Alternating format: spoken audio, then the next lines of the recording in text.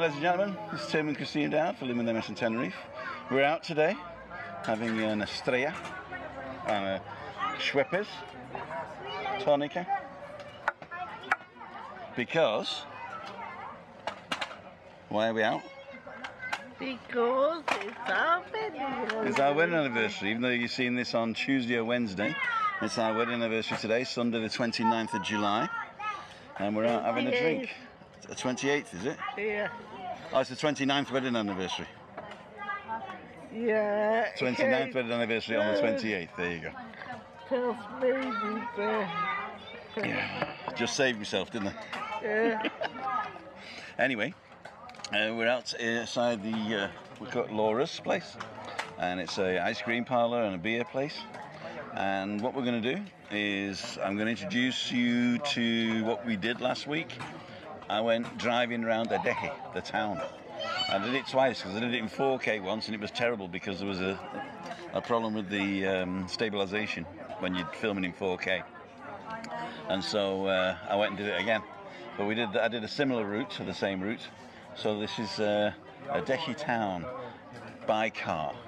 Enjoy. Vámonos.